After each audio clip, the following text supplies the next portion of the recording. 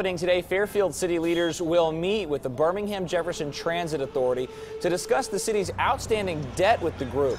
The board says it cut the Fairfield bus line because the city can't pay its bill of more than $500,000. As CBS 42 first told you in late May, Max bus service in Fairfield ended, will end on July 5th. Our news team will continue to bring you the latest developments from Fairfield on air and online over at WIAT.